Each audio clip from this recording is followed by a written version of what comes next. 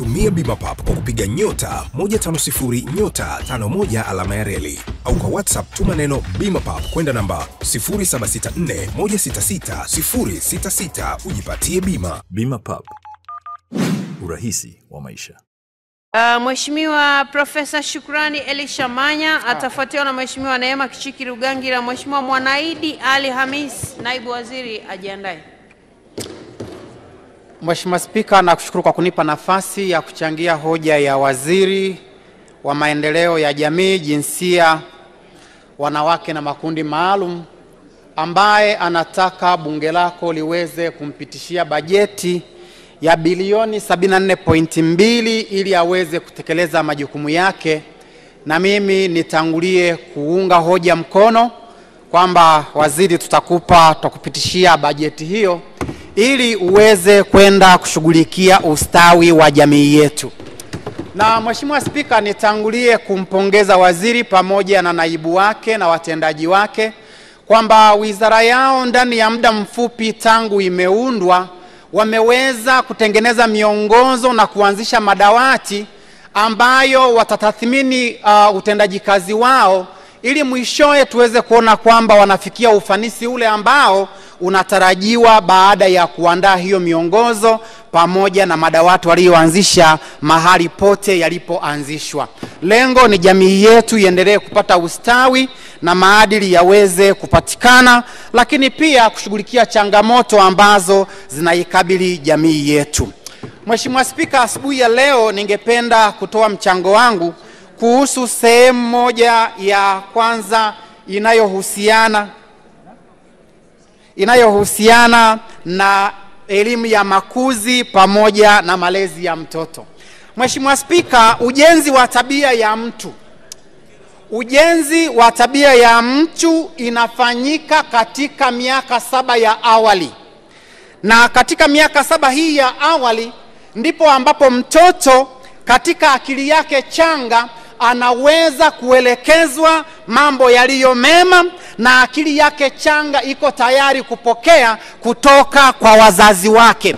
Lakini pia Mheshimiwa Spika, tunaambiwa kwamba katika hiyo miaka saba ile mitatu ya awali ndiyo ya msingi kabisa, maana ndipo tunapojenga msingi wa kupokea maadili, ni msingi wa kuchambua yaliyo mema, na ndiyo maana napenda nitumie mithali moja inayotoka katika kitabu cha Mithali 22 mstari wa sita inasema, umlee mtoto katika njia impasayo, naye hataiacha hata atakapokuwa mzee. Sasa kama hilo ndilo hoja ya kwamba malezi ya mtoto angali mtoto mdogo akilelewa vizuri hataweza kuiacha njia hii hata uzee wake. Maana yangu nini, Mheshimiwa Spika? Katika kipindi hiki cha miaka ya awali, na ndiyo maana tunapendekeza miaka hii ya awali mtoto aweze kukaa na wazazi wake, wazazi wake wapate namna ya kumwingizia maadili wanayoyataka wao. Kwa hiyo ndiyo muda wa kumlinda mtoto, yani first line of defense. Yani hatua ya kwanza ya ulinzi wa maadili ya mtoto ni akiwa nyumbani kwao, ndipo ambapo anawekewa misingi ambayo ataweza kuiishi hata huko baadaye.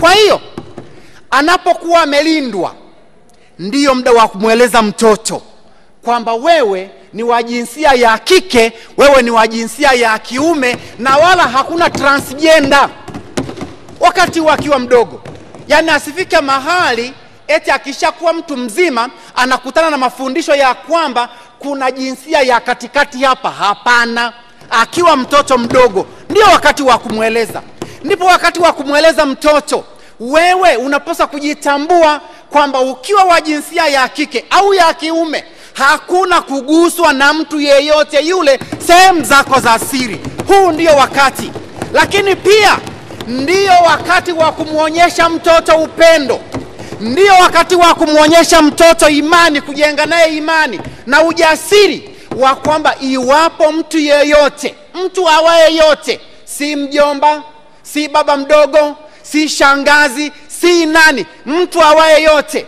atakapokutendea jambo lolote ambalo si jema, baada ya kumfundisha jema, apate imani na ujasiri wa kuja kumwambia baba yake au mama yake kwamba fulani amenitendea hivi. Huu ndio wakati. Na kwa jinsi hiyo, Mheshimiwa Spika, kama hivyo ndivyo, huu wajibu unawaangukia wazazi na hasa akina mama, na ni wajibu ambao haupaswi kuahirishwa wala haupaswi kupokezana. Na kwa jinsi hiyo, mimi niombe sana Mheshimiwa Spika, yawezekana kweli kwamba jamii yetu inahangaika kutafuta mali yawezekana kweli tunajaribu kutafuta namna ya kujenga chumi zetu za familia, ni kweli. Lakini Mheshimiwa Spika, kwa sababu ni, ni, ni, ni wajibu ambao hauhamishiki, kwa sababu ni wajibu ambao hauwezi kuahirishwa, wazazi tusiseme huu usemi ambao tunapenda kuusema kila wakati, sina muda. Hapana, wazazi tutenge muda hata kama majukumu yetu ni makubwa kiasi gani yanatutaka, lazima kila siku inayopita tutenge muda wa kukaa na watoto wetu. Na usemi wa kwamba sina muda, hiyo sio usemi ambao unapaswa kusemwa na mtu aliye na, na mtoto mdogo ambaye ni mzazi anayetambua kwamba huu ndio wakati wa kujenga maadili ya mtoto wake. Mbona tunakuwa hata kama tuko bize, mbona tunakuwa na kamda ka WhatsApp na ka Twitter na ka Facebook katika siku? Si ni bora tuache hiyo Facebook, tuache hiyo Twitter, lakini tupate muda wa kujenga maadili ya taifa lijalo.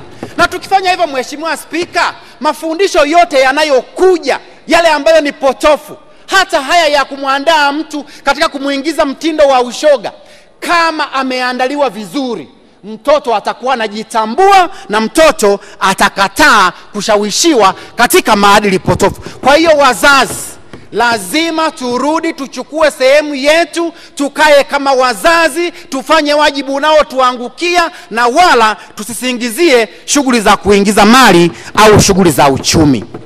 Sasa Mheshimiwa Spika, namchukua huyu mtoto kwamba pale nyumbani ameandaliwa vizuri, baadaye anatamani kwenda kwenye jamii, yawezekana ni shule au yawezekana kupata masomo ya dini huko huko. Mheshimiwa Spika, lazima tuweze kuweka mifumo thabiti na salama inayomhakikishia huyu mtoto ulinzi wake. Ninaposema hivi Mheshimiwa Spika, ni kweli kwamba Mheshimiwa Waziri atasema ameanzisha madawati, lakini lazima tuweke mifumo rahisi na miepesi ya kushughulikia iwapo hawa ambao wamepewa dhamana ya kumlinda na kumtunza wanakwenda njia ambayo siyo. Maana kama walivyosema wenzangu, watu wengine ambao wameaminiwa ni shule, viongozi wa shule wameficha maovu haya wakitayama, wakitamani kuyamaliza kwa njia nyepesi. Hapana. Kwa hiyo serikali iweze kuweka mfumo ambao ni rahisi. Mheshimiwa Spika, naona kama muda wangu unakwisha, naomba nimalizie Dakika moja. dakika moja. Niongelee uh, hoja ya mtoto yatima. Mtoto yatima akiwa private school, shule ya binafsi, inakuwa vigumu sana Mheshimiwa Spika, kurudishwa katika mfumo wa serikalini, shule za serikali. Kwa hiyo katika dawati lake mtoto yatima inapotokea wazazi wake amefariki, serikali iweze kurahisha namna ambayo huyu mtoto anaweza akasaidiwa kutoka shule ya binafsi kurudishwa katika shule ya serikali ili wazazi wasiweze kupata shida sana katika kumhudumia. Nakushukuru sana mheshimiwa. Asante sana.